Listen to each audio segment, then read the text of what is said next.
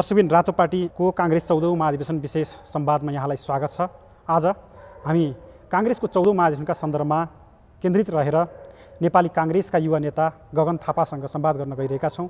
नेपाली काङ्ग्रेसको चौधौँ महाधिवेशनमा उहाँको तयारी र नेपाली काङ्ग्रेसले आगामी चौधौँ महाधिवेशनबाट नीति नेतृत्व युवाको उपस्थिति लगायतका सन्दर्भमा के कस्तो नीति बनाउँदैछ के कसरी अगाडि जाँदैछ सँगसँगै महाधिवेशन हुने नहुने बारेमा पनि लामो समय एक खालको अन्यल अवस्था थियो।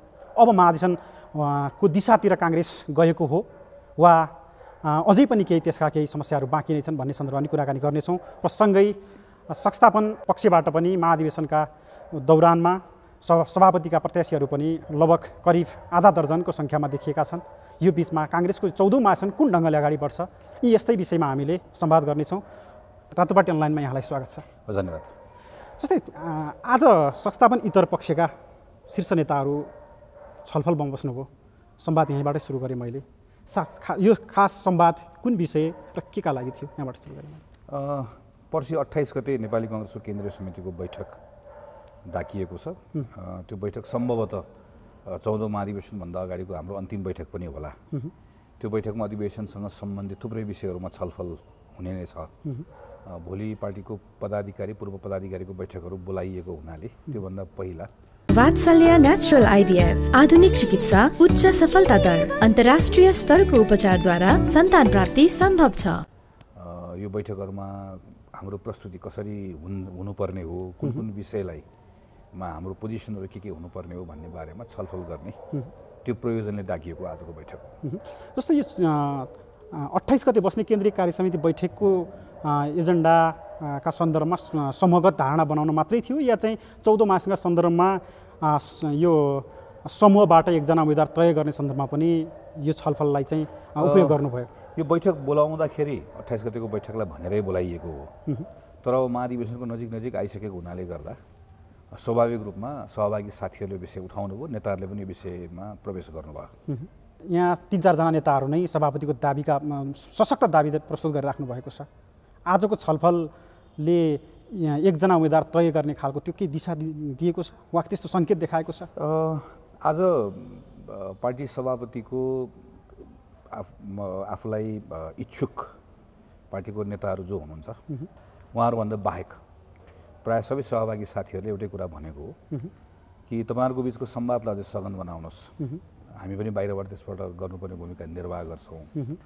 एउटा उम्मेदवार बनाऊ र त्यो पनि मङ्सिरको तिन गतेभन्दा पहिले तय गरौँ। एउटा उम्मेदवार बनाउन सकेनौँ भने चौधौँ महाधिवेशनबाट नेतृत्व बदल्छु भन्ने गफ दिन छाडौँ। एउटा उम्मेदवार बनायो भने मात्र त्यो कुरा सम्भव हुनसक्छ। त्यसको लागि अब अहिले जस जुन गहिराईका साथ छलफल हुनु पऱ्यो त्यो भइरहेको छैन। हामी यसो भेटघाट गर्ने छलफल गरे जस्तो मात्र गर्ने काम गरिरहेका छौँ। त्यो होइन अठाइस गतिको बैठक सकिएपछि सबै कुरा छाडेर यसमा जुटेर पहिला उम्मेद्वार तय गरौँ भन्ने कुरा। त्यो धेरै सहभागी साथीहरूले भन्नुभयो। र त्यसलाई रामचन्द्र पौडेल लगायतको अरू सहभागी नेताहरूले त्यसमा त्यसलाई सकारात्मक रूपमा लिनुभएको र हामी यसमाहरू अब बैठक सकिन साथै यसमा जुटौँ भन्ने कुराकानी भएको छ। जस्तै तेह्रौँ महाधिवेशनमै सभापतिको दावी गर्नुभएको थियो रामचन्द्र पौडेलले। चौधौँ महाधिवेशनमै उहाँको अहिलेसम्म दावी नै छ। उहाँले यो समूहलाई सशक्त ढङ्गले एक ठाउँमा ल्याएर अगाडि जाने त्यो खालको माहौल देख्नु भएको छ? अब आज यो बेलामा उहाँले नै भनेको कुरालाई रेफरेन्स राखेर भनौँ होइन?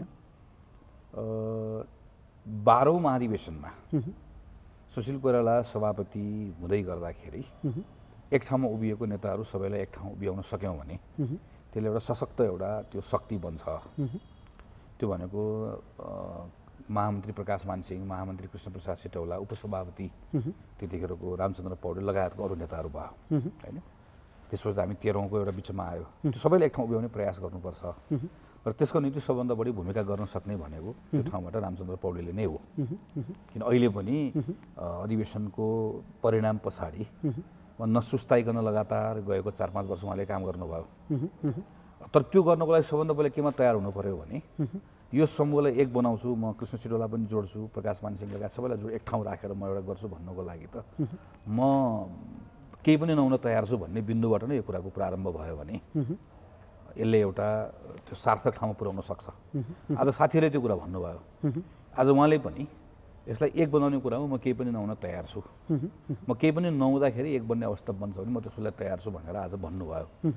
त्यसरी अगाडि बढ्नुभयो भने भूमिकाको हिसाबले सबभन्दा बढी भूमिका गर्न सक्ने अवस्थामा चाहिँ उहाँ नै हुनुहुन्छ। किन? यसको अर्को एउटा कारण भनेको गएको चार पाँच वर्ष मैले जे देखेँ यो रामचन्द्र पौडेललाई बाहिर जे जे भने पनि त्यहाँ पार्टीभित्रको शक्ति सङ्घर्षमा त्यहाँभित्र त आखिर रामचन्द्र पौडेललाई नै सबभन्दा अगाडि सारेर सबै नेताहरूले त्यसकै मार्फतबाट चाहिँ त्यहाँभित्रको सङ्घर्षमा भाग लिनुभयो कसैले पनि के भन्यो भनेन भने तपाईँ बस्नुहोस् तपाईँ विश्राम गर्नुहोस्। यो पौडेल सम्भव होइन? होइन हामीहरू चाहिँ अगाडि बढ्छौँ। अब अब यो चरण हामी सम्हाल्छौँ भनेर पनि त कोही आएन। होइन? जसले गर्दाखेरि गएको चार पाँच वर्षको त्यो ठाउँ त उहाँले लिइराख्नु भयो। त्यो कारणले गर्दाखेरि पनि यो मेरो मैले मेरो नाममा बनिरहेको अहिलेको समूह यो समूह छ यो समूहभित्र म अभिभावक पनि हो म फर्स्ट म्यान पनि हो म मिलाउँछु मिलाउनुको लागि म केही पनि नहुन तयार छु भनेर भन्ने ठाउँमा उहाँ नै हुनुहुन्छ। त्यो गर्ने नगर्ने उहाँको कुरा भयो जस्तै यो पालिका तहसम्मको काठमाडौँमा अधिवेशन हुँदै गर्दाखेरि पालिकाको काठमाडौँको हकमा तपाईँ र प्रकाशमान सिंहबीच एक खालको चाहिँ कम्बिनेसन भएको थियो। त्यसले गर्दा परिणाम पनि लगभग तपाईँको पक्षमा जस्तै देखिन्थ्यो। तर अहिले यसो हेर्दाखेरि पौडेल समूह नै उहाँले छोडेको जस्तो एक खालको चाहिँ के अरे प्रकाशमान सिंहकै सचिवालयबाट वा उहाँकै निकट नेताहरूले चाहिँ भनिरहेको परिस्थितिमा चाहिँ अब जोड्ने उहाँ कुरा गरिरहँदा केही नेताहरू बाहिरिँदै गरेको सङ्केतले चाहिँ यो महाधिवेशनमा सबैले एक ठाउँमा ल्याउन सकिन्छ भनेर कसरी विश्वास दिलाउनुहुन्छ कार्यकर्तालाई? अहिले बाहिर जे जस्तो यो समाचारहरू आइरहेको नेताहरूको कतिपय अभिव्यक्तिहरू होइन उहाँहरूको बिचको चिसो बाहिर सबैले यसो देख्न सकिने गरिकन भएको कुरालाई ले सबैलाई चिन्तित बनाएकै छ। होइन। तर मलाई के लाग्छ फेरि पनि भने जस्तो पार्टीको जुन जुन नेताहरूको हामीले नाम लियौँ उहाँहरूको बिचमा अहिले केही चिसोपन भए तापनि यो बिचमा अरू नेताहरूले पनि प्रयास गरिराख्नु भएको छ। हामीहरू पनि प्रयास गरिरहेका छौँ। बिचमा टुटेको संवाद फेरि पुनर्स्थापित हुन्छ छलफल हुन्छ। छलफलबाटै निकाल्ने हो एउटा कुनै न कुनै निष्कर्ष।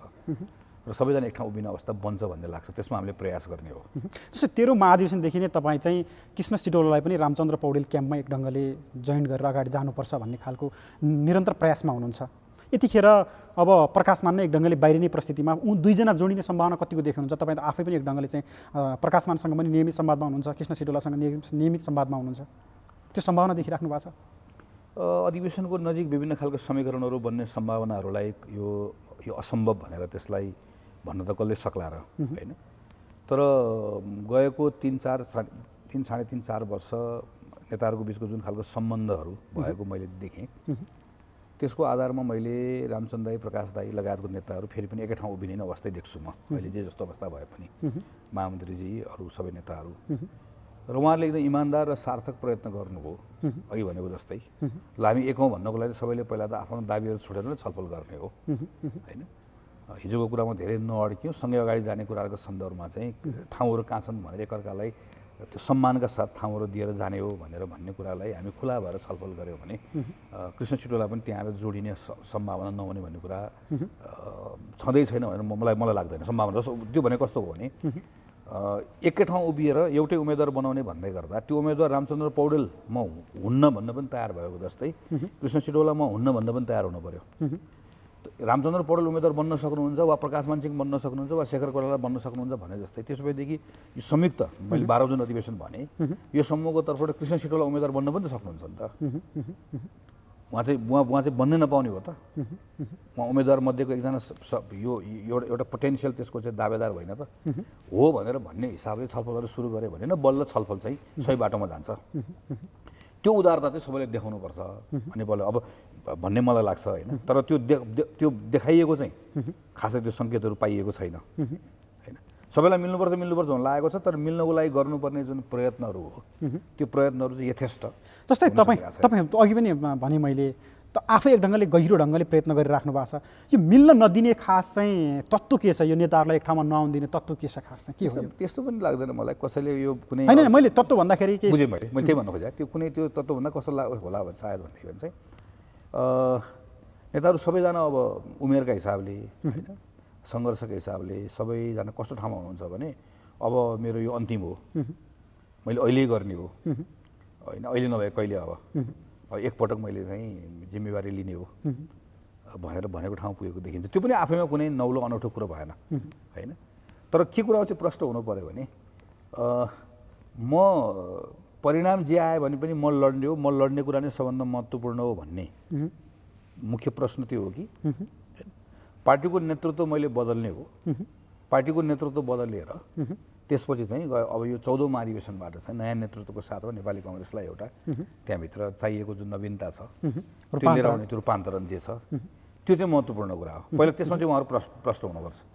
त्यो दोस्रो कुरा महत्त्व पहिलो दोस्रो कुरा चाहिँ खास प्रधान हो त्यो चाहिँ खास मुख्य कुरा लागेको हो भने त्यो बेला नेताहरू के कोलाई तयार हुनुभयो भने खुला बहस छलफल सबै गर्न तयार हुनुभयो। दोस्रो कुरा प्रधान होइन भने के हुने दोस्रो कुरा प्रधान नहुँदै गर्दा के हुने भयो भन्दा त्यतिखेर चाहिँ जेसुकै होस् म लड्ने हो परिणाम जेसुकै आज भन्ने ठाउँमा पुग्ने हुनुभयो। यो चाहिँ अलमलमा देख्छु क्या म नेताहरूलाई जस्तै यो यो यसको पछाडि चाहिँ तेह्रौँ महाधिवेशनमा तपाईँले एउटा समूह बनाएर लड्नु भएको थियो। त्यो समूहबाट जसरी चाहिँ एक ढङ्गले चाहिँ शक्ति एक्सर्साइज गर्नुभयो होइन? पावर एक्सर्साइज गर्ने ठाउँमा पुग्नुभयो कृष्ण सिटौला।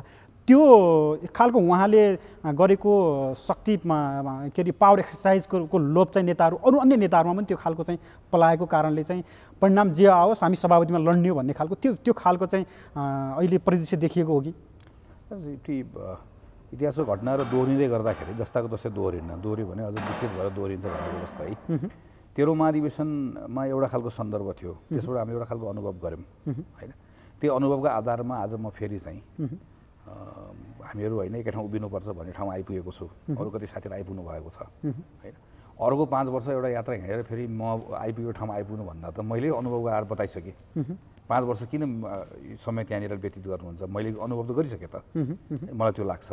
अब पार्टीभित्रको यो शक्ति सङ्घर्ष यसकै हिसाबले हेर्दाखेरि पनि त अ, नेताहरूले के अर्को पनि तपाईँले भनेको जस्तो पावर एक्सर्साइज गरेको त्यो पक्ष मात्र हेर्ने कि आफूलाई साथ दिएका थुप्रै साथीहरूको संरक्षण गर्न सकिएन। यो यो कति कति पार्टीका जेन्युन साथीहरू चाहिँ जसले हिजो निर्वाचन बेला मौका पाउनु पर्थ्यो पार्टीभित्र जिम्मेवारीहरू पाउनु पर्थ्यो ती सबै जिम्मेवारीबाट नपाउने अवस्था बन्यो। खालि एक दुईजना साथीले मात्र महत्त्वको एउटा जिम्मेवारी पाएको अवस्था बन्यो। यसरी यो त्यो त्यो त्यो पक्षमा पनि त होला नि त। जुन जुन तपाईँले भन्नुभयो। होइन कृष्ण दाई म लगायतको हामी केही साथीहरू हामी देख्यौँ होला। होइन हामीले कति ठाउँहरू पायौँ होला। यो एक ढङ्गको पावरको एक्सर्साइज पनि गर्न पायौँ होला। तर त्यो बेलामा त तिन चार सय साथीहरूसँगै उभिएका थिए नि। त्यो तिन चार सयजना साथीहरूमध्ये त प्रायः कुनै पनि साथीलाई न्याय गर्न सकिएन। होइन? कति कति साथीहरू चाहिँ हामीसँग जोडिएको कारणले गर्दाखेरि मात्रै ती साथीहरू चाहिँ सांसद हुने कुराबाट उम्मेदवार बन्न कुरा वञ्चित भए पार्टीको जिम्मेवारीबाट वञ्चित भए त्यो पक्षमा पनि त हेर्नुपर्ने होला नि त। जस्तै तपाईँ अब म तपाईँ तपाईँको उम्मेदवारीतिरै जान चाहन्छु। महाधिवेश यो चौधौँ महाधिवेशनमा फेरि पनि महामन्त्रीमा लड्ने एक एक खालको उद्घोष गरिसक्नु भएको छ। र काङ्ग्रेस रूपान्तरणको एजेन्डा पनि एक ढङ्गले चाहिँ अब काङ्ग्रेसलाई नवीन काङ्ग्रेसमा चाहिँ नवीनतम एक खालको चाहिँ रूपान्तरण आवश्यक छ भन्ने खालको तपाईँको त्यो खालको दृष्टिकोणका साथ महामन्त्रीमा लड्ने तयारीमा हुनुहुन्छ। काङ्ग्रेसमा रूपान्तरणका आधारहरू चाहिँ जुन चाहिँ रूपान्तरण गर्ने त भन्नुभएको छ त्यसका आधारहरू के छन्? यसो हेर्नुहोस् यसलाई धेरै कम्प्लेक्स नबनाइकन म कसरी राखौँ भने अठहत्तर सालमा हाम्रो अधिवेशन छ। यो यो अधिवेशनले आउने नेपाली कङ्ग्रेसको लिडरसिप जो छ म महामन्त्री हुँदाखेरिको सभापति सहितको जो हुन्छ उसले चलाउने भनेको कहिलेसम्म हो भन्दा तिरासी सालसम्म हो चार वर्ष हो। यो चार वर्षमा राष्ट्रिय राजनीतिको कुरोको लाई एउटा पोइन्टमा राखेर हामीले नेपाली कङ्ग्रेसले चार वर्ष के गर्ने भनेर हामीले हेर्ने हो। हाम्रो नेतृत्वमा शान्ति प्रक्रिया हाम्रो नेतृत्वमा संविधान निर्माण हाम्रो नेतृत्वमा कार्यान्वयन गरेको संविधान आज चाहिँ त्यो संविधानप्रतिको जुन अपनत्व हुनुपर्ने हो यो संवैधानिक बाटोभन्दा अर्को बाटो निर्विकल्प छ है यही बाटो हिँड्ने हो भनेर भन्नुपर्ने ठाउँमा चाहिँ प्रशस्त प्रश्नहरू आएको अप्ठ्यारो छ आएको अवस्था छ। यसको अनरसिप कसले लिने? यो पनि भएको छ त्यो पनि भएको छ। नेपाली कङ्ग्रेस सबभन्दा पहिलो कुरा भनेको त सात सालदेखिको आफ्नो अनुभवको आधारमा परिवर्तन गर्ने अलिकति समय त्यसको अभ्यास गर्ने असफल हुने फेरि त्यसको विकल्प खोज्ने। अब काङ्ग्रेसले अधिवेशन निस्केको काङ्ग्रेसले के भन्न सक्नुपर्छ भने अर्को कुनै बाटो छैन यही संवैधानिक बाटो हिँड्ने हो र यहीभित्र यहीँभित्र पर्फर्म गर्ने हो। र यही बाटोभित्रबाट हामीले डेलिभरी गर्ने हो भन्ने कुरा एउटा हो। दोस्रो कुरा हामी अहिले यो एक वर्ष के गर्छौँ? यो अधिवेशनबाट आउनुहोस् मङ्सिरमा एउटा नयाँ सभापति आउँछ। एक हाम्रो नेतृत्वमा सरकार छ। यो सरकारले संविधानलाई ठिक ढङ्गले यसको ट्र्याकमा राख्नु पर्यो र चुनाव गराउनु पर्यो ठिक? यही गर्ने हो। त्यो चुनाव नेपाली कङ्ग्रेसले आफ्नो एकल आफूले शक्तिको आधारमा यो यो निर्वाचनमा नेपाली कङ्ग्रेस बहुमत प्राप्त भएको पार्टी भएर आउन सक्ने यो काङ्ग्रेसको लिडरसिपले बनाउनुपर्छ। बनाउनु बनाउनु पर्ने हाम्रो अवस्था छ। त्यो भनेको नेपाली कङ्ग्रेसले अहिलेसम्म प्राप्त गरेको मतले पुग्दैन। कम्तीमा हामीले अर्को दस लाख मत यहाँ थप्नुपर्छ दस लाख मत थप्ने भनेको कसले हाल्ने हो दस लाख मत भनेको? आजसम्म काङ्ग्रेसलाई मत नहालेको मान्छे। कि नयाँ मान्छेले हाल्ने हो? कि काङ्ग्रेसलाई अहिलेसम्म मत नहालेको हिजो सूर्यमा हालेको हसी हथौडा मत हालेकोले हाल्ने हो? त्यसले काङ्ग्रेसलाई मत किन हाल्ने हो? काङ्ग्रेसले पन्ध्र सालमा राम्रो गरेको थियो भनेर हाल्ने हो कि? अडचालिसमा राम्रो गरेको थियो भनेर हाल्ने हो कि? दुई हजार उनासी सालको निर्वाचन जितेको काङ्ग्रेसले राम्रो गर्न सक्छ भनेर हाल्ने हो? त्यो भनेको नेपाली कङ्ग्रेसले निर्वाचनबाट राज्य सत्ता प्राप्त गर्यो भने त्यसले गर्ने डेलिभरी के हो? त्यो डेलिभरीले एउटा नागरिकको जीवनमा ल्याउने बदलाव के हो? त्यसको बाचा के हो? म एक सक एक मिनटमा म थोरै धेरै समय लिन्न। र त्यो बाचा मात्र कुरा गरेर हुँदैन। त्यो बाचा पुरा गर्ने उसको कार्यक्रम के हो?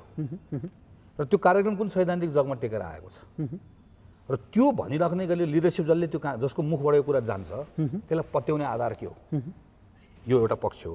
र अर्को पक्ष आज महामन्त्री भएर सोच्ने हो भने भोलि महामन्त्री भएर काम गर्ने मौका पाउने हो भने सोच्ने कुरा के हो भने उसको अर्को ठुलो पक्ष भनेको चाहिँ पार्टीको सङ्गठन परिचालनको नेता भनेको महामन्त्री हो।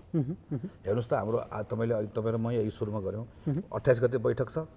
अझै चाहिँ कतिपय ठाउँहरूमा चाहिँ हाम्रो अधिवेशन हुने हो कि नहुने हो? कतिपय साथीहरू अहिले पनि अनसन बसिरहेको अवस्था छ। यस्तो व्यतिथि यस्तो बेहाल नेपाली कङ्ग्रेस पार्टीको नौ लाख दस लाख मान्छे काङ्ग्रेसको क्रियाशील भयो भनिएका छौँ। तर यो पार्टी त योभन्दा त दुई हजार छ सालमा बलियो थियो त।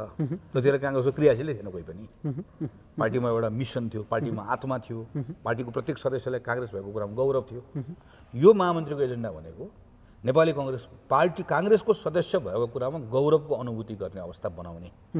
नेपाली कङ्ग्रेसलाई एउटा आधुनिक सङ्गठनको रूपमा नौ दस लाख सदस्य भएको पार्टीलाई व्यवस्थित पार्टी र काङ्ग्रेस भनेको चाहिँ एउटा एउटा अरू कुनै पार्टी नाम कसैको नलिउँ। राज्य सत्ताको दोहन गरेर त्यसको आधारमा स्रोत र साधनलाई कब्जा गरेर त्यसबाट पार्टीका सदस्यहरू पाल्ने पार्टी होइन। काङ्ग्रेस भनेको एउटा सामाजिक आन्दोलन हो। काङ्ग्रेसको सदस्य हुनु भनेको ठुलो गौरवको विषय हो एउटा आन्दोलनसँग विचारसँग जोडिने विषय हो भनेर बनाउने काम। यो अधिवेशनमा अन्य नेतृत्वले गर्न सक्नुपर्छ।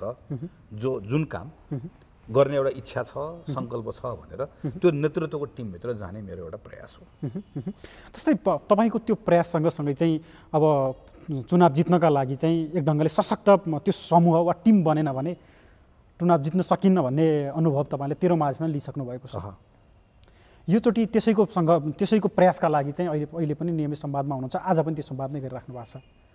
त्यो सशक्त टिम बन्छ र त्यो सशक्त टिमभित्र चाहिँ म सभापति के अरे महामन्त्रीमा सेक्युर हुन्छु भन्ने खालको त्यो खालको विश्वास छ तपाईँमा?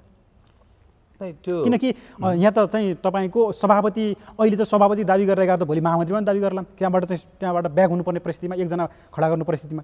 त्यस्तो परिस्थितिमा गगन थापा फेरि चाहिँ एक्लै चुनावमा जानुपर्ने परिस्थिति बन्ने हो कि महाधिवेशनमा? यसो हेर्नुहोस्। आफ्नो कर्म गर्दै जाने हो होइन?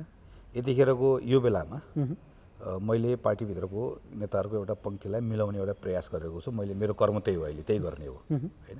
त्यो पार्टीको लागि पनि हितकर छ। स्वाभाविक रूपमा अधिवेशन छ अधिवेशनमा म म महामन्त्रीको प्रत्याशी भएपछि के गर्दाखेरि मलाई मेरो पक्षमा परिणाम आउला भन्ने कुरा मैले सोच्ने कुरा त एकदमै स्वाभाविक हो। त्यो सोचिनँ भने त मेरो उम्मेदवारी नै त्यो त्यो त्यस गलत नियतका साथ भयो नि। त्यसैले एउटा उम्मेदवार बनाउँदै गर्दाखेरि त्यसको महामन्त्री हुँदै गर्दाखेरि मलाई सजिलो हुन्छ भन्ने कुरा त मैले सोच्ने भएँ। मेरो लागि पनि सोच्ने भएँ? त्यो सोचेर काम पनि गर अहिले गरे म आफूले गर्ने कुरा मैले स्वाभाविक ठान्छु। अब मलाई के लाग्छ भने पार्टीको मेरो महामन्त्रीको उम्मेदवारीको सन्दर्भमा म तिन साढे तिन वर्ष त्यसैभरि घुम्दै गर्दाखेरि नेपाली कङ्ग्रेसको जो साथीहरू महाधिवेशन प्रतिनिधि भएर आउँदै हुनुहुन्छ आउने महाधिवेशन प्रतिनिधिले यो पटक नेपाली कङ्ग्रेसको महामन्त्रीमा एउटा महामन्त्री तपाईँ हो। यसलाई बनाउने हो भनेर भन्ने मन बनाएको मैले आफूले पाएको त्यसकै आधार नभए त म पार्टीको सभापति उम्मेदवार बनिदिन्थेँ यसमा अघि अघि हजुरले भन्नुभयो नि जस्तै म यी मेरा यी एजेन्डा जसले चाहिँ एक ढङ्गले चाहिँ मैले जुन खालको रूपान्तरणको सपना देखेको छु काङ्ग्रेसको त्यो सपनालाई साकार गर्ने नेतृत्व अ, लाई वा त्यो नेतृत्वको टिममा बसेर महामन्त्री लड्न चाहन्छु भन्नुभएको छ। अहिलेसम्म त्यो नेतृत्व यो हो भनेर चाहिँ ठ्याक्कै केही सोच्नु भएको छ? नाम भन्न सक्नुहुन्छ आज? यस्तो छ। यो एउ- एउटा मिलाउने प्रयत्न गरिरहँदै गर्दाखेरि मैले अहिले सार्वजनिक ठाउँबाट सार्वजनिक मञ्चबाट यसो हुँदै गर्दा चाहिँ ठिक हुन्छ भनेर भने भने त्यो प्रयत्न गर्ने कुरा मेरो त्यो आफै प्रयत्न कमजोर हुन्छ। छ मेरो मनभित्र पनि छ। है त्यहाँभित्र मैले मैले पनि त पार्टीको साथीहरूसँग अन्तर्क्रिया गरेको छु। त्यो अन्तर्क्रियामा पार्टीको साथीहरूले यस तपाईँ चाहिँ फलानुको महामन्त्री हुनुभयो भने चाहिँ यो यो तपाईँहरूको टिम राम्रो हुन्छ भोलि काङ्ग्रेस राम्रो हुन्छ भनेर भन्नुभएको अवस्था चाहिँ नभएको होइन। तपाईँलाई म यसमा अलिकति सजिलो पारिदिन्छु। तपाईँ बाहिर या भित्र चाहिँ अब गगन थापा शेखर कोइरालाको महामन्त्री हो। अहिले पछिल्लो केही वर्ष चाहिँ शेखर कोइरालासँग एक ढङ्गले उहाँ उठबस गरिराख्नु भएको छ। काङ्ग्रेस उहाँले देखेको एक खालको चाहिँ काङ्ग्रेस रूपान्तरको सपना छ। त्यो सपनामा चाहिँ शेखर कोइराला सारथी बन्न सक्नुहुन्छ। वा त्यो त्यसको नेतृत्व गर्न सक्नुहुन्छ। भनेर चाहिँ बाहिरबाट भनेको छ। त्यो यो बाहिरबाट चाहिँ उठ्न एक ढङ्गले जुन ढङ्गको एक खालको विश्लेषण आइरहेछ यो विश्लेषणमा कतिको सत्यता छ? छ। पार्टीको थुप्रै साथीहरूले तल जाँदै गर्दाखेरि चाहिँ शेखर कोइरालासँगको यो तपाईँहरू चाहिँ खास गरी हाम्रो पुस्ताको साथीहरूलाई धेरै साथीहरूलाई जोडेर तपाईँहरू सँगसँगै जानुपर्छ भनेर भन्नुभएको। मैले प्रश्न धेरै ठाउँ जाँदाखेरि मैले पाएको छु। होइन त्यहाँ पनि छ। उहाँले पनि हामीहरू थुप्रै साथीहरूलाई गएको केही वर्ष लगातार इन्गेज पनि गरिराख्नु भएको छ। तर मेरो हकमा होइन मलाई रामचन्द्र पौडेलले पनि गएको तिन साढे तिन वर्ष सदा सदाका साथमा। अघिल्लो अधिवेशनको सब सबै कुराहरूको जुन एउटा व्यक्तिगत रूपमा सबभन्दा बढी तोड त उहाँलाई परेको अवस्था हो। यो भोलि नेपाली कङ्ग्रेसको निम्ति एउटा चाहिने एउटा एउटा एउटा पात्र हुनसक्छ भनिकन त्यो स्पेस दिँदै आउनुभएको। त्यही गरिकन चाहिँ पार्टीको नेता प्रकाश मान सिंहले खास गरी काठमाडौँको सङ्गठनमा मात्रै भएन त्योभन्दा बाहेक पनि ती सबै कुराहरू गएको। मलाई पनि करिब करिब उहाँ प्रकाश दाईसँग पनि करिब तिन साढे तिन वर्ष भयो होला। है पार्टीको विषयहरूमा सिरियसली कुराकानी पनि गर्नुभएको। त्यस कारणले गर्दा मैले संसद दलमा गएर उहाँलाई गएर अरू सबै साथीहरूलाई छोडेर गएर मत हाल्न पनि गएको हो। त्यसैले सबै खालको नेताहरूसँग संवादमा छलफलमा रहिरहेको। उहाँहरूको चाहिँ मनमा के के कुराहरू छन् भन्ने कुरालाई नजिकबाट चाहिँ उहाँहरूसँग छलफलबाट थाहा पाउने मौका पनि पाएको। र अहिले सकेसम्म एउटा मिलाउने प्रयास गरिरहेको हुनाले गर्दाखेरि अन्तिम सकिहालेँ अन्तिम समयसम्म यसलाई मिलाउने प्रयास नै गर्ने हो। अब मिल्दै मिलेन भने के गर्ने? त्यतिखेर के गर्नुहुन्छ भन्ने कुरा चाहिँ अब अहिले मिलाउँछु भनेर लाग्ने। अझै केही केही दिनहरू बाँकी छ। अहिले नै मिलेन भने चाहिँ म यसो गर्छु भनेर भन्यो भने त त्यो मिलाउने प्रयासै कमजोर भइहाल्छ नि। त्यसरी हेर्छु म। जस्तै त्यसो भए इतर पक्षका नेताहरूको सबै नेताहरूको चाहिँ जो नेताहरू चाहिँ सभापतिमा चाहिँ अहिले मिलाउने प्रयास भइरहेछ यी नेतामध्ये जोमा सभापति आए पनि गगन थापा महामन्त्री त्यो त्यो एकल उम्मेदवारको महामन्त्री हो। सबैको सबैको तपाईँ चाहिँ एक ढङ्गले त्यसो भए त्यो के भन्छ सबैले चाहिँ चुइज गरेको यो मेरो महामन्त्री हो भनेर चाहिँ सबैले एक्सेप्ट गरेको वा सबैले ल्याउन चाहेको पात्र हो भनेर त्यो चाहिँ। भन्न सक्नुहुन्छ आज? त्यो म त्यो त्यो एकदमै त्यो किनभने उहाँहरूसँग संवादको हिसाबले पनि भन्न सक्छु होइन? सबै हिसाबले भन्न सक्छु त्यो हो एकदमै हो। जस्तै अर्को चाहिँ तेह्रौँ महाधिवेशन पछि नै तपाईँले एक ढङ्गले अब आफै नेतृत्वमा आउने प्रयत्न गरिराख्नु भएको थियो। त्यसपछि अब तपाईँले अहिले अलिकति अब ब्याग हुनुभयो। युवा युवा पुस्ताहरू जुन ढङ्गले आउने प्रयत्न गरिराख्नु भएको थियो त्यसमा अलिकति ब्रेक लागेर कसै न कसै नेताको चाहिँ एक ढङ्गले चाहिँ छायामा बसेर राजनीतिक भविष्य खोज्नुपर्छ भन्ने ठाउँमा पुग्नु भएको छ। भोलि तपाईँहरू नेतृत्वमा पुग्दै गर्दाखेरि पनि अहिलेको जुन खालको यो चाहिँ पौडेल काङ्ग्रेस देउवा काङ्ग्रेस कोइराला काङ्ग्रेस भन्ने खालको छ नि भोलि गगन काङ्ग्रेस विश्व काङ्ग्रेस प्रदीप काङ्ग्रेस गुरुराज काङ्ग्रेस यस्तै यस्तै हुन्छ कि तपाईँहरूले के फरक गर्ने सोच्नु भएको छ यो पनि बताइदिनुहोस् मलाई। नेपाली कङ्ग्रेस पार्टीको विधानमा वडादेखि तलदेखि माथिसम्म सबै तहमा नेतृत्व निर्वाचित भएर आउने भन्ने खालको जुन अभ्यास हाम्रो छ त्यो अभ्यास भएपछि पार्टीभित्र अधिवेशनको नजिक नजिक समूहहरू बन्ने माथि पार्टी सभापति लड्न चाहने मान्छेले वडादेखि आफ्नो मान्छे निर्वाचित ल्याउने गर्ने खोज्ने कुरा चाहिँ रहिरहेको छ हेर्नुहोस्। है? तर मङ्सिरमा अधिवेशन भइसके पछाडि पुसैबाट एकै गतेबाट हामीहरू म मेरै बारेमा भन्नु सक्ला अरूको बारेमा मैले कसरी भन्नु सक्ला र होइन? म महामन्त्री भएको नेपाली कङ्ग्रेसको कार्य समिति जुन छ त्यसले सबैभन्दा पहिला त्यसले गर्ने सङ्कल्प भनेको के हो भने विधानको शासन विधानको पालना। त्यो विधानको काङ्ग्रेसको विधानमा जे लेखेको छ त्यसको अक्षर अक्षर पालना मात्रै गर्यो भने तपाईँले भनेको जुन आशङ्काहरू गर्नु त्यो त्यो त्यो त्यसले त्यो आकारै लिन पाउँदैन।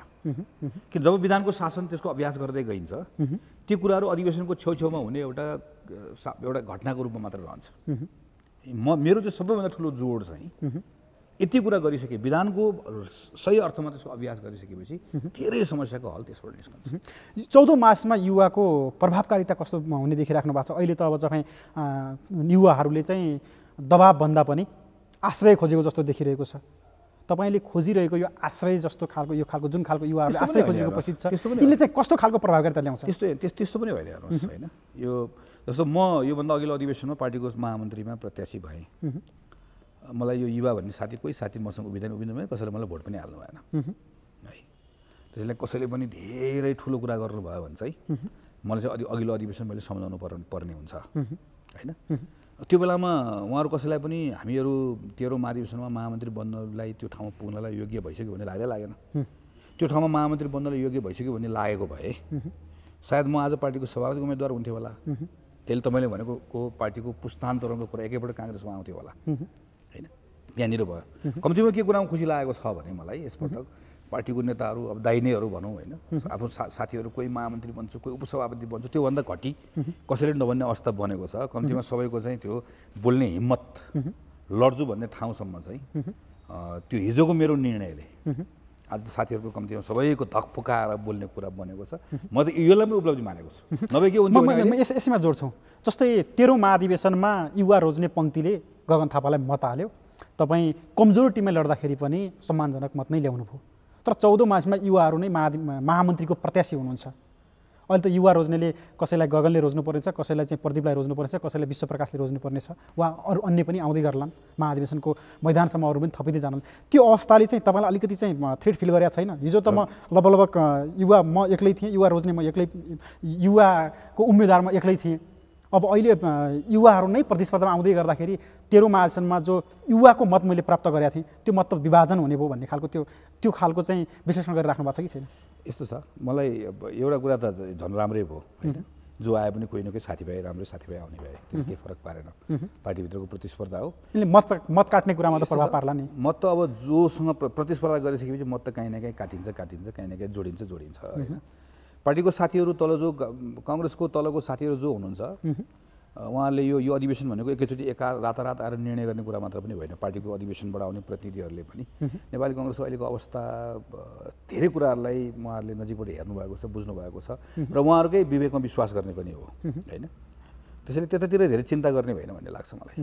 जस्तै अर्को चाहिँ तपाईँले अहिले देश दौडाएका क्रममा चाहिँ भाषण गरिराख्नु भएको छ। केन्द्रमा वा प्रदेशमा सत्ता गठबन्धनको सरकार बनिरहेको छ कमजोर अवस्थामा पुगेको काङ्ग्रेस सत्तामा पुगेको छ। अनि त्यो यो गठबन्धनलाई चुनावमा लिएर जाने कुरामा तपाईँले चाहिँ विमति जनाइराख्नु भएको छ। केन्द्रमा सत्तामा बसेका नेताहरू चाहिँ गठबन्धनका साथ चुनावमा जाने हो भनेर चाहिँ काङ्ग्रेसका नेताहरू बोलिराख्नु भएको छ। तपाईँ चाहिँ जहाँ जहाँ पुग्नुहुन्छ त्यहाँ चाहिँ काङ्ग्रेस एक्लै लड्छ भनेर राख्नु भएको छ। यो खालको विरोधाभासपूर्ण किन किन भइरहेछ काङ्ग्रेसभित्रै चाहिँ? यस्तो चाहिँ हेर्नुहोस् यो अहिले यो यो- यो गठबन्धन अहिले एउटा आवश्यकता बन्यो आवश्यकताले गठबन्धन बन्यो। होइन? यो गठबन्धन बनाउने कुरामा यो संसद जोगाउने कुरामा सबभन्दा पहिला सडकमा निस्केको मान्छे मध्ये हो काङ्ग्रेसको होइन? यो संविधानलाई जोगाउने कुराको सन्दर्भमा यो गठबन्धन भने गठबन्धन भोलि पनि बन्न सक्छ। यो गठबन्धन अहिले बन्यो अहिलेको यो गठबन्धनले को जिम्मा भनेको केपी ओलीले भत्काउनु भएको संविधानलाई टालेर चुनाव गराउने हो। त्यहाँसम्म ठिक छ। अब यो चु म सकिहाल्छु। अब त्यो चुनावमा के हुन्छ भन्ने बारेमा गठबन्धनमा गठबन्धन चुनावमा पनि जान्छ भनेर बोल्नको लागि कोही नेताले चुनावको बारेमा एक वर्षपछि हुने चुनावको बारेमा डेढ वर्षपछि चुनावको बारेमा अहिलेदेखि जुन हतार गर्नुभयो है त्यसले हामीलाई पनि बोल्न बाध्य बनाएको नभए हामीलाई पनि अहिले एक कदम अगाडि आएर त्यसको बारेमा बोलिराख्न आवश्यकै थिएन। अब प्रत्येक दिन कुनै न कुनै नेताले कोही काङ्ग्रेसको नेताले कोही अर्को समाजवादी कोही माओवादीको नेताले यो गठबन्धन चुनाव पछि पनि जान्छ अर्को वर्ष जान्छ भनेर हाम्रो बारेमा उहाँले घोषणा गरिदिनुहुन्छ। अरे बाबा हाम्रो त महाधिवेशनमा नयाँ नेतृत्व आउँदैछ। त्यो नेतृत्वले के गर्छ तपाईँलाई के थाहा? एउटा कुरा दोस्रो कुरा यो चाहिँ मैले किन पनि भनेको भने मैले बुझेको काङ्ग्रेस। मैले काङ्ग्रेसभित्र काम गर्दा मैले बुझेको काङ्ग्रेस के हो भने मैले पटक पटक भनेको छु म आफै दुई दुई पटक सांसद निर्वाचन लडेको मान्छे हुँ। सयौँ निर्वाचनमा पुग्छु म। नेपाली कङ्ग्रेस एउटा लिबरल डेमोक्रेटिक पार्टी हो। हामी हामी सदस्य बनाए पनि नौ दस लाख सदस्य बनाए पनि यो कार्यकर्तामा आधारित पार्टी होइन यो। हाम्रो मतदाता हामी चिन्दैनौँ। नेपाली कङ्ग्रेसले आफ्नो मतदातालाई अपिल गरेर है तपाईँहरूले चाहिँ हामी हामीलाई नहाल्नुहोस् हामीले यो पटक फलानु पार्टीलाई मत हाल्ने भएको छौँ हामीलाई समर्थन गर्नेले फलानु हाल्नुहोस् भनेर भनेर हाम्रो आदेश निर्देशन मान्ने मतदाता हाम्रो होइन यो कम्युनिस्ट पार्टी होइन। हाम्रो क्यारेक्टरै छैन त्यो हो। त्यसैले मैले त भनेको के हो भने हामीसँग मिलेर चाहिँ हामीले अस्तिको पालि हेरौँ न स्थानीय निर्वाचनमा हामी कति ठाउँमा चाहिँ मेयर हाम्रो उपमेयर माओवादीसँग काहीँ उपमेयर हाम्रो मेयर माओवादी हामी कहीँ पनि पार लागेन। धेरै जसो ठाउँमा हामी हामी बरु हामीले अलिअलि उहाँहरूको मत पायौँ। अलिअलि। धेरै जसो ठाउँमा उहाँहरू धोका खानु हो त्यसैले भोलि धोका खानुहुन्छ मैले त अहिले टाइममा भनिदिएको भोलि धोका खानुहुन्छ। जस्तो मैले भन्नु ल जस्तै जस्तै चौधमा के अरे चौहत्तरकै चुनावमा चाहिँ आफैसँग रहेको माओवादीलाई सहकार्यमा लिन सकिएन भनेर तपाईँहरूले नै नेतृत्वको आलोचना गर्नुभयो। अहिले चाहिँ यो गठबन्धनमै रहेका नेताहरूलाई चिडाउने गरेर हामी एक्लै लड्ने हो भनेर जुन ढङ्गले तपाईँले। चाहिँ यो एक खालको चाहिँ हामीले यो त्यो त्यो त्यस त्यसलाई पनि तपाईँहरूले हामीले गरेको आलोचना एकदम त्यो यथार्थपरक लिखितै छ नि त पार्टीमा। दस्तावेजै बुझाएका छौँ है। त्यो गठबन्धनको सन्दर्भमा पार्टीभित्र छलफल गर्ने त्यसलाई अलिकति सुसंस्कृत छलफल गरेर पार्टीमा पारदर्शी छलफल गर्ने भन्दा पनि त्यो लेनदेनको जस्तो होइन जुन जुन जुन खालको हामीले व्यवहार गऱ्यौँ त्यो व्यवहारको कारणले गर्दा के भयो भने आखिरमा चाहिँ आफैसँग सरकारमा रहेको पार्टी अर्कोसँग मिलेको जस्तो अत्तो पत्तो नपाउने अवस्था बन्यो। जो आफूसँग सरकारमा छ भन्ने हामीले उठाएको प्रश्न भयो होइन? अहिले पनि अरू केही पनि भयो? मैले यही पनि भने जस्तो। अब यसैमा हजुरलाई सजिलो होला जस्तै अहिले यो गठबन्धन छ यो गठबन्धन भोलि गठबन्धनमा रहेका नेताहरू भोलि चाहिँ कम्युनिस्ट एक ठाउँमा हुने भनेर वाम एकता भन्दै वा वाम चुनावी गठबन्धन भन्दै एक ठाउँमा आएको परिस्थितिमा त फेरि चाहिँ काङ्ग्रेस चौहत्तरकै हालतमा त पुग्ला नि। मेरो यस- यति हो। म यहाँनिर आउँछु। त्यसैले तपाईँले सोध्नु एजेन्डा के भन्दा नेपाली कङ्ग्रेसले पाएको भोट बत्तिस पर्सेन्ट हो हेर्नुहोस्। म नेपाली कङ्ग्रेसले पाउने भोटलाई चौवालिस पर्सेन्ट पुऱ्याउनुपर्छ भन्ने हो। है? त्यो भनेको कम्तीमा काङ्ग्रेसले दस बाह्र लाख मत थप्नुपर्छ। हामी यो बत्तिस पर्सेन्टमा बस्ने त्यो चाहिँ बढाउँदै नबढाउने कहिले त्योसँग मिल्ने कहिले त्योसँग मिल्ने तिनीहरू फुट्लान् कि जुट्लान् चाहिँ अझ अझ देशी विदेशी कसले मिलाइदेला जुटाइदेला भनेर चाहिँ त्यहाँ गएर प्रार्थना गरेर धुपबत्ती बालेर बसेर हुँदैन। हामीले हाम्रो मत हाम्रो मताधार बढ्ने ठाउँ छ। हामी चौवालिस पैँतालिस पर्सेन्टमा पुग्न सक्छौँ किनकि हामीले अडतिस उन्चालिस पर्सेन्ट भोट एक्लै ल्याएका छौँ अडचालिस सालमा ल्याएका छौँ छप्पन्नमा गरेको नजिक नजिक ल्याएका छौँ। चौवालिस पैँतालिस पर्सेन्ट भोट आफू एक्लै ल्याइसके पछाडि चाहिँ अरू मागिरहेको पार्टी सब मिलेको ठाउँ आउँदैन काङ्ग्रेस एक्लै हुन्छ। हाम्रो भोट त्यसैले मैले त्यसैले म नेपाली कङ्ग्रेसको महामन्त्रीका रूपमा मैले बनाउने काङ्ग्रेस भनेको यो भोट बत्तिस पर्सेन्टबाट बढेर चौवालिस पर्सेन्टमा जाने किनकि पैँतिस लाख नयाँ मतदाता मतदान गर्न आउँदैछन्। त्यो पैँतिस लाख मतदाताले जसरी म अडचालिस सालमा काङ्ग्रेसलाई मत हालौँ हालौँ भएको गणेशमान किसुनजी भएको बेलाको पार्टी जस्तो थियो नि। हामीहरू अठार बिस वर्ष हुँदै गर्दा हालौँ हाल्नु भन्ने लाग्ने एउटा पार्टी बनेको थियो। त्यस्तो पार्टी बनाउने हो। जसले गर्दा हाम्रो त्यहाँ पुगोस् न। अर्कोले कति त्यो झिङ्गे दाउ थापेर कसले कति मत ल्याउँछ भनेर हिसाब किताब गरेर बस्ने पार्टी किन बनाउने? त्यो हो मेरो कुरा। जस्तै अहिले यो सरकारकै सन्दर्भमा चाहिँ काङ्ग्रेस कतै एक सिट प्रत्यक्षमा जितेको ठाउँमा पनि मुख्यमन्त्री खाइरहेको छ। केन्द्रमा पनि प्रतिपक्षको समेत हैसियत थिएन। किनकि संसदमा कुनै विधेयक के अरे कुनै प्रस्ताव पेस गर्दै गर्दा पच्चिस प्रतिशत चाहिन्थ्यो। त्यो अवस्थामा काङ्ग्रेस सत्तामा पुगेको छ। यसलाई चाहिँ केही विश्लेषक वा चाहिँ अहिलेको प्रतिपक्षी पार्टीले नै यो जनादेशको मज मजाक भनेर टिप्पणी गरिरहेको छ। यो अल्पमतको सा शासन मुलुकमा सुरु भयो यो जनादेशको मजाक भयो भनेर जुन ढङ्गले टिप्पणी भइरहेको छ यो टिप्पणीप्रति तपाईँको धारणा के छ? त्यो बेतुको कुरा भइहाल्यो नि।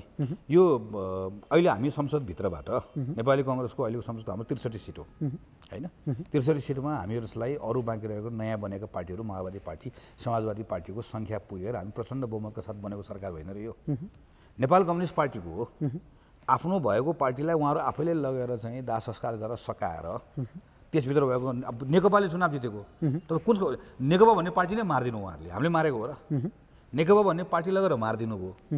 भोज खानु हो दुईवटा पार्टी बनाउनु भयो।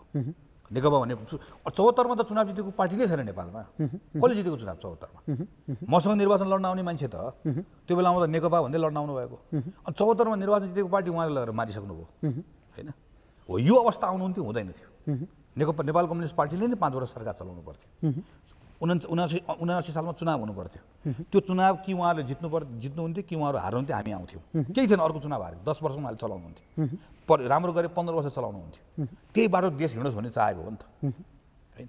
तर त्यो बाटो देश नहिँड्ने ठाउँमा कसले पुऱ्याएको हो? त्यो नेपाल कम्युनिस्ट पार्टी लगेर विसर्जन कसले गरेको हो? अदालतले त निर्णय गरेर आऊ मिल्ने भए तिमी आऊ भने उहाँहरू आफ्नै इच्छाले नमिल्नु भयो फुटाउनु भयो। त्यसको दोषको भारी हामीलाई बगाएर त भएन त्यो होइन जस्तै उहाँहरूको चाहिँ त्यो यो जनादेशकै मजाकका रूपमा जुन ढङ्गले टिप्पणी गरिराख्नु भएको छ यसलाई जमा जनादेशको मजाक ठान्नुहुन्छ कि ठान्नुहुन्न भन्नु कसरी जनादेशको मजाक भयो? होइन? यो फेरि यस्तो हो यो यो जनादेश भन्ने कुरा कसरी बुझ्नुपर्छ जस्तो लाग्छ मलाई भने पार्लियामेन्ट्री डेमोक्रेसीमा है जुन सांसदले बहुमत पुऱ्याउँछ होइन, त्यो सांसदले बहुमत पुऱ्याउँदै गर्दा उसले सरकार बनाउँछ। हामी आज कुनै पनि ठाउँमा त हाम्रो बहुमत पुऱ्याएर नै बनाएको हो। काङ्ग्रेस हिजो तपाईँले कर्णालीको कुरा गर्नु खोज्नुभएको होला ठिक छ कर्णालीमा नेपाली कङ्ग्रेस नेकपा एमाले र माओवादी एक्ला भए हुन्थ्यो के? तपाईँ चुनाव दुइटा मिलेर लड्नुहुन्छ।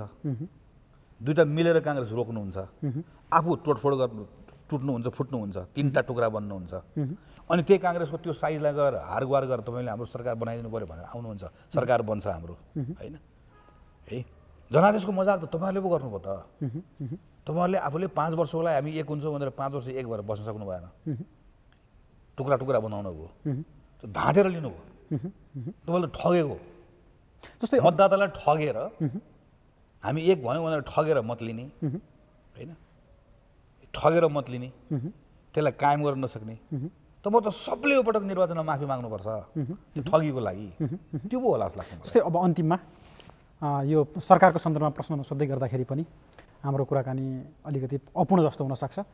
अब अहिले चाहिँ काङ्ग्रेस आठवटा सरकारमा समावेश भइसकेको छ। केन्द्रदेखि प्रदेशमा सबै प्रदेशमा सरकारमा पुगिसकेको छ भने केन्द्रमा आफैले सरकार चलाइरहेको छ।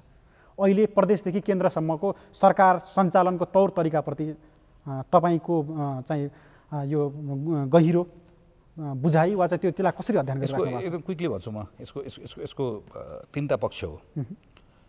एउटा पक्ष कोभिड पछाडिको यो अस्तव्यस्तता त्यसको स्वास्थ्य र गैर स्वास्थ्य क्षेत्रमा परेको प्रभाव यी सबै कुरा सबैको हामी यो सरकार आउँदै गर्दाको सबैभन्दा एउटा नागरिकको दिमागमा त्यही कुरा थियो। त्यसको खोप खोपको व्यवस्थापन होइन। केही कमजोरीहरू भयो होला तर लार्जली यो कुरामा गभर्मेन्टले गर्नुपर्ने काम गरेको छ। सही ट्र्याकमा छ। केही सानसाना कुराहरू व्यवस्थापनको कुरालाई सुधार्दै गर्दाखेरि हामी अबको छ आठ महिनाभित्रमा कोभिडका सन्दर्भमा यो राम्रो काम गरेको देशभित्र हामी पर्छौँ। यो एउटा राइट ट्र्याकमा छ। यस यो बाहेकको दुईवटा काम। एउटा काम भनेको चाहिँ मूल काम। यो संसदलाई विघटन गरेर अदालत चलाएर संवैधानिक निकाय चलाएर दुजा दुजा बनाएर केपिओलीको गभर्मेन्टले जस्तो अवस्थामा बनाएको थियो। यसको मुख्य काम भनेको यसलाई ट्र्याकमा लिएर आउने हो यसलाई सम्हाल्ने हो। होइन? यसलाई यो यो यो विषयका सन्दर्भमा। यहाँनिर चाहिँ खास गरी पछिल्लो समयमा न्यायालयको विषय। संवैधानिक निकायको जुन चाहिँ जसरी उहाँले गठन गर्नुभएको छ। यो विषयहरूमा जुन आँटका साथमा यसलाई ठिक ट्र्याकमा ल्याउनु पर्ने कुरामा यो गठबन्धन जसरी लाग्नुपर्ने हो। त्यहाँ चाहिँ अलिकति म यो अलि अलि अलि त्यो त्यो आँट हराएको त्यो साहस हराएको लोलोपोतो गरेको अलिकति लुते देखेको। यसमा स्वार्थबाजीका कारणले हो? मलाई मलाई मलाई त्यो लाग्दैन होइन। त्यो म चाहिँ आँटै गर्न नसकिरहेको देख्छु म यो। है। यदि स्वार्थै बाजीको कुरा कसैले सोध्छ भने पनि त्यही कोडबाट कसैले सोध्छ भने पनि त त्यो आफूले आँट गर्न सक्दै गर्दाखेरि त्यहाँभित्रको त्यसलाई ठिक ठाउँमा पुर्याउने अवस्था हुँदै गर्दाखेरि पनि गर्न नसक्ने भनेको त म त आँटै नभएको भनेर भन्छु। सेकेन्ड कुरा। थर्ड कुरा चाहिँ स्वास्थ्य बाहेकको जुन गैर स्वास्थ्य क्षेत्र छ खास गरिकन हाम्रो इकोनोमीको सेक्टर। म यो गठबन्धनको सरकारले आउन साथै धेरै ठुलो कुरा उथलपुथल गर्छ भन्ने कुरा गर्नुपर्छ भन्ने कुरा मेरो होइन। केपी ओलीले धेरै गफ दिएर थाकेर बसेको मानिसहरू छन्। तर त्यो रिफर्मका केही कुराहरू जुन चाहिँ सलिड कामहरू ठोस कामहरू मान्छेले त्यो गभर्नेन्सबाट जुन महसुस गर्न पाउने हो त्यो काम गरेको म चुक्यो भन्दिनँ किन भर्खर सुरु भएको छ। तर जुन सङ्केतहरू देखिनु पर्ने हो नि मान्छेलाई अलिकति भयो भने ल है यो राइट ट्र्याकमा गएको छ भन्ने कुरा त्यो एक्साइटमेन्ट जुन आउनु पर्यो त्यो आउन सकिरहेको छैन। तपाईँले यसका लागि चाहिँ प्रधानमन्त्रीलाई केही टिप्स दिनुभएको छ? यसरी चलाउनु सत्ता भनेर? केही समय अगाडि अलि अगाडि। अहिले बिचमा त थोरै केही समय भयो भेटघाट नभएको। केही समय अगाडि मैले उहाँलाई भेटेर पाँच छवटा खास गरी गभर्नेन्ससँग सम्बन्धित कुराहरू भने मैले पनि बडो त्यसलाई राम्रोसँग रिसिभ पनि गर्नुभयो केही कुरा तत्काल गर्नु पनि हो। त्यसपछि गएर मलाई म अहिले पनि सम्झन्छु भाइले आएर मलाई पट बेला बेलामा आएर भनिराख्नु पऱ्यो चाहिँ तपाईँलाई थाहा पनि हुन्छ यस्तो कुराहरू पनि भनेर भन्नुभयो। अब प्राइम मिनिस्टरको पनि व्यस्तता। बढी अधिवेशनतिर प्राइम मिनिस्टरभन्दा बढी पार्टी सभापति भएर व्यस्त भएको पाउँछु म एउटा त्यहाँनिर छ होला सायद। होइन? अर्को म त सांसद हुँ मेरो लागि त सबैभन्दा राम्रो ठाउँ त संसद नि। म संसदबाटै गरिहाल्थेँ नि। ध्यान आकृष्ट गर्थेँ सुझाव दिन्थेँ होइन? मेरो म त त्यसलाई त्यो बेस्ट युज गर्थेँ त्यो जस्तै तपाईँले यहाँ सङ्केत गर्नुभयो भइहाल्यो। यसमा अलिकति अघि पनि जोड्न चाहेँ मैले अलिकति अ, ब्याक भएँ। जस्तै तपाईँ अहिले चाहिँ अब यता संस्थापन इतरतिर खुल्नुभयो वा त्यहाँतिर अहिले त्यहाँतिर बढी लाग्नुभयो उहाँ चाहिँ अब आफै पनि सभापतिको तयारीमा हुँदाखेरि चाहिँ तपाईँहरू बिचको एक ढङ्गको भेटघाट त्यसरी पातलिया हो कि? तपाईँले आफैले पनि भन्नुभयो उहाँ चाहिँ महाधिवेशनको तयारीमा बढी हुनुहुन्छ भन्दै गर्दाखेरि। महाधिवेशनमा तपाईँहरू दुईजनाको एक खालको सहकार्य हुने माहौल नबनेपछि वा नदेखिएपछि। मैले मैले नै खोजेर दुई तिनचोटि प्रधानमन्त्रीलाई दुई दुई तिन पटक एकचोटि हामी सामूहिक रूपमा एकपटक आफूले गएर खोजेर भेटेर यी विषयहरूको बारेमा बताएर आएको हो। उहाँले खोजेर बोलाएर के भइरहेछ तिमीहरूको सुझाव के छ भनेर माग्नु भएको छैन सोध्नु भएको छैन होइन? माग्नुभयो सोध्नुभयो भने अर्को प्रधानमन्त्रीले बोलाउँदा त दौडेर गइन्थ्यो। हामी पनि आफ्नो प्रधानमन्त्रीले बोलाउँदा त टाउल टेकेर गइन्छौँ नजाने कुरै भएन। किनकि यो सरकार त सफल होस् भन्ने त सबभन्दा बढी त चिन्तित त हामी छौँ नि त? मलाई त्यो एउटा पक्ष भयो तर मलाई अर्को के लागेछ भनेदेखि भने मेरो वैधानिक अधिकार चाहिँ कसले खोजिदिनु भयो भन्दा केपी ओलीले खोजिदिनु भयो। मेरो त संसद हो नि। म त निर्वाचित सांसद हो नि त्यहाँको त्यही फोरमबाट म भन्नुपर्ने प्रधानमन्त्री शेरबहादुर देवाललाई भन्नुपर्ने सुनाउनु पर्ने कुरा त म त्यहीँबाट गरिहाल्थेँ नि। आफू देशभरि डुलेर चाहिने नचाहिने गफ गर्नलाई होइन? टोल टोलको मञ्चमा कहिले उठेर कहिले बसेर कहिले दायाँ कहिले बायाँ फर्केर भन्ने हुनुभयो उहाँले। तर हामीले बोल्न पाउने हाम्रो मुख बन्द गरिदिनु भयो। अन्तिममा भोलि काङ्ग्रेसको केहीमा वडा तेह्र जिल्लामा वडा अधिवेशन हुँदैछ जहाँ चाहिँ वडा अधिवेशन भएको छ त्यहाँ वडा अधिवेशन हुँदैछ। त्यो वडा अधिवेशन सँगसँगै चाहिँ केही दिनपछि पालिका अधिवेशन हुँदैछ जिल्ला अधिवेशन पनि हुँदैछ। यो प्रदेश पनि प्रदेश अधिवेशन कि प्रदेश अब चाहिँ सातवटै प्रदेशमा पनि अधिवेशनको चरण अगाडि बढिरहेको छ। कार्यकर्तालाई के भन्न चाहनुहुन्छ यसबाट स्थानीय निर्वाचन हामीले चैत वैशाखमा नगरिकन हामीसँग उपाय नै छैन। अब म सबैतिर समझदारी बनाउन सकिन्छ त म भन्दिनँ। तर मेरो अनुभव जस्तो मैले मेरो आफ्नो निर्वाचन क्षेत्रमा पनि केही वडाहरूमा हामीले एकदम सर्वसम्मति गर्न सक्यौँ कहीँ कहीँ हाम्रो निर्वाचन भयो। पालिकामा पनि त्यही भयो। जहाँ हाम्रो निर्वाचन भयो त्यो पालिका स्तरमा निर्वाचन भएको ठाउँमा चाहिँ त्यहाँ अलिअलि केही न केही तिक्तता छ तुस छ केही समय लाग्छ त्यसलाई पुरा हुनलाई माथिल्लो तहमा स्वाभाविक हुँदो रहेछ केन्द्रीय समिति प्रदेश समितिमा तर सकेसम्म वडामा पालिकामा चाहिँ सम्भव भएसम्म एकदम चाँडो निर्वाचनको सामना गर्नु छ यदि सहमति गर्न सकिन्छ भने लागेर सहमति गर्नुहोस् एउटा दोस्रो कुरा मेरो अपिल चाहिँ साथीहरूलाई चाहिँ अब केही समयपछि झन्डासँगै बोक्नु छ फेरि अब- यो राजनीतिक हिसाबले हाम्रा असहमतिहरू छन् हाम्रा हाम्रा फरक फरक एजेन्डाहरू छन् त्यो कुरा गरौँ। तर यो व्यक्तिगत जुन आक्षेपहरू टिका टिप्पणीहरूको कुरा माथि नेताहरूले कहिलेकाहीँ भनिदिने बोलिदिने कहिलेकाहीँ हामीले पनि त्यो कुरामा कमजोरी भएको हुन्छ। त्यो तल पनि सरेर जान्छ माथि नै रहन दिनुहोस् यसलाई। त्यो रोग तल आउन नदिनुहोस्। किनकि तलको साथीहरूको बिचमा चाहिँ त्यो हार्दिकता रहिरहेकोस् भन्ने कुरा हो। हुन्छ। रातोपाटीका लागि विशेष परिस्थितिमा पनि समय छुट्याएर हामीलाई करिब आधा घन्टा लामो समय दिएर अ, संवादका लागि एक खालको माहौल निर्माण गरिदिनु भयो यसका लागि धन्यवाद। महाधिवेशनको मैदानमा फेरि पनि तपाईँसँग संवाद गर्ने नै छौँ। आजका लागि चाहिँ तपाईँलाई बिदा गर्छौँ। हस् धन्यवाद। हुन्छ। दर्शकबिन आज हामीसँग काङ्ग्रेसका युवा नेता गगन थापा हुनुहुन्थ्यो। उहाँसँग काङ्ग्रेसको चौधौँ महाधिवेशनकै फेरिफेरमा रहेर र उहाँको आगामी तयारीका बारेमा संवाद गरेका छौँ। यो सँगै आजका लागि हामीलाई पनि बिदा दिनुहोस्। नमस्कार। Thank